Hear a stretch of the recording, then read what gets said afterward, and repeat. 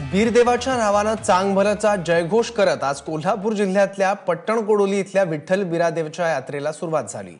यावेळी भाविकांनी तब्बल पन्नास टनाहून अधिक भंडारा उधळला. यात्रेला महाराष्ट्र कर्नाटक आणि आंध्र प्रदेश या राज्यातील तब्बल पाच लाखाहून अधिक भाविक हजर होते. या यात्रेचं वैशिष्ट्य म्हणजे देवस्थानचे फरांदे बाबा वर्षभरासाठी जे भाकीत करतात त्याप्रमाणे नैसर्गिक सामाजिक आणि राजकीय घडामोडी घडतात अशी भाविकांची श्रद्धा आहे. या फरांडे बाबांनी राजकारणात गोंधळ होईल असं म्हटलंय. तसंच तांबडे धान्य महाग होईल सात दिवसात पाऊस पडेल असं भाकीत केलंय.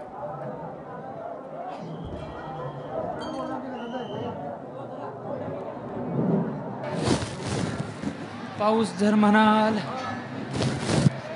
सात दिवसात लोंडा सोडील की रे?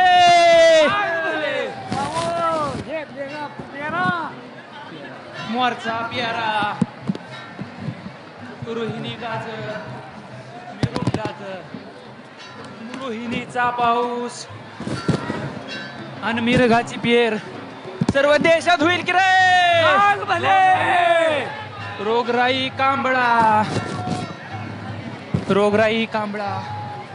जो माझ्या गुरुच्या चरणात आचरणात राहील त्याची बारा इग्न बारा वाटण माझ्या हातातल्या येताना दोडावून लावीन.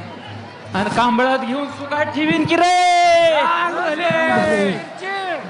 मिरची रस भांड मिरची रस भांड जर म्हणाल.